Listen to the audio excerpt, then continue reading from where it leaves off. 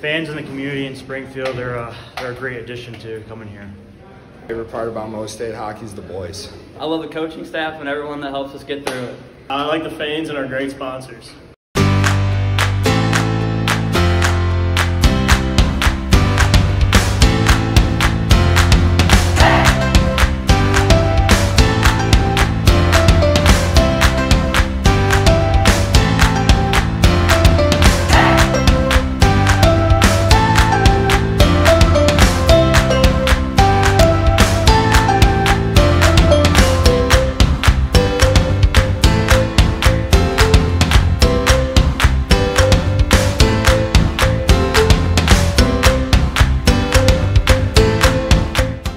I love the school because it's clean, everything's in walking distance, all the teachers are great.